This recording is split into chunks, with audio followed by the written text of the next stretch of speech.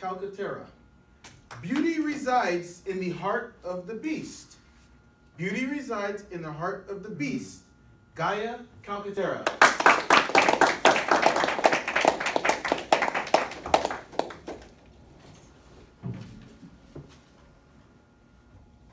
Mr. Contest Master, Mr. President, fellow Toastmasters, and most welcome guests and judges. In a tale as old as time, a scene opens in the scene of Beauty and the Beast, and it opens up onto this magnificent ballroom and a waltz between a beautiful princess who our, who our attention gravitates towards, and then this eyesore of a beast. And perhaps there's something a lot more profound to be found and discovered in this scene. And this story really starts a few months ago in Brazil, where I was invited to a project planning workshop, along with a group of nine other people. And in line with other story tales, we used a methodology called dragon dreaming to bring out incredible ideas and concepts and to really dream this amazing project that was to be into life. Now, one of these concepts stood out at me immediately and seemed to grab my attention, and it was this. As a group, how could we find and create and see the beauty in everything? Now, it wasn't so much the beauty aspect of it, because let's face it, all of us know how to see beauty and even create it to a degree. We see beauty in nature all the time. We see it in the unfolding of a flower. We see it in the call of attention to a sunrise in the morning.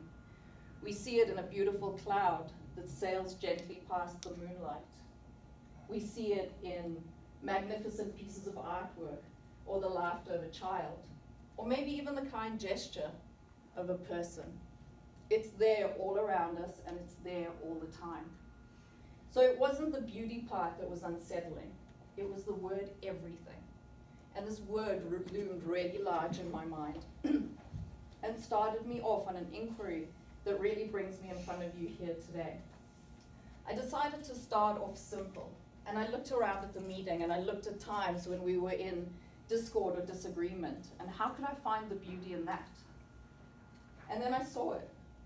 We were just nine angels working on a project together and working it out, and it was so simple and it was so beautiful. So I started to apply it to other things. I left Brazil and the inquiry got deeper and deeper. And I looked at two years back when I'd started something called the Gratitude Project in Johannesburg in South Africa. Every time, basically, the Gratitude Project is a home for orphan children in South Africa. And I've been to the area and visited it many, many times. And what I experience every single time when I go there is this immense feeling of hopelessness. And sometimes the numbers are just completely overwhelming to the point that they almost pull me out of the game. Where was the beauty in all of this? So I started to look, and I started to look through the despair. I looked through the hopelessness. I looked through the hunger. I looked through the disease. I looked through the arid land. I even looked through death that seemed to be crouched, waiting in every single corner. And then I looked in front of me, and there was a group of smiling, laughing children. And their joy is so infectious. We have so much to learn from all of them. And there was one child in particular, and I looked at the reflection in his eyes, and there I saw it. Inside that reflection of light was the light of all creation, and within it, the beauty of the entire universe. And in an instant, in an instant, hopelessness transformed, and it became commitment to look after this light. I was astounded at the beauty of it. And so I started applying this concept of the beauty in everything to as many things as I possibly could. I applied it to past events, present events, future events, simple events, dark events, deep events. I even applied it to a friend who has recently discovered he has cancer in his entire body. And the results were astounding. Every single time it was the same.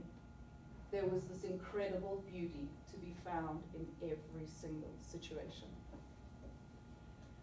This then brought me to the point of feeling that I was now at a point that I could apply this to one of the most challenging experiences and events in my life. And 15 years ago, my boyfriend of four years, Paul, was shot in the head and killed. He was 31 years old and he died instantly. Where was the beauty in this? And so I started to wade through all the hard and difficult emotions, the thickness of grief, the thickness of sadness, injustice, despair. And I have to be honest with you, I couldn't find it. And then in the re- reminiscing and recalling of all the different memories, I remember that while we were together, he had discovered that his father was not his biological father, and that he in fact lived in Holland. So I encouraged him to make contact with his biological father, which he did. And they started off a correspondence and communication, and there were beautiful, exciting plans to meet when the tragedy happened. And so his father flew down for the funeral anyway. And he was a complete stranger in a room full of people. He didn't know anyone except for me. And so I accompanied him to the front of the room where the open coffin was waiting for him. And I stood by his side. And suddenly I was present to one of the most beautiful moments and the most poignant moments I've ever witnessed in my entire life. Two identical faces in front of each other, and a father meeting his son for the very first mm. time. And it was in that moment that I discovered that beauty did not need to replace pain, but that it could stand right beside it. And so I have an invitation for all of you this evening.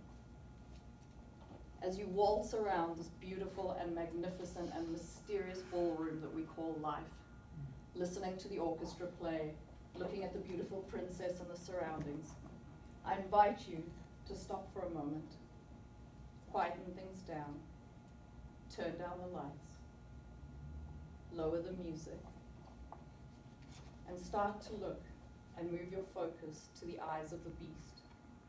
And if you can, take all your courage and follow the path from its eyes into its heart. Because I assure you, that is where you will find the most resplendent beauty by far. Wow.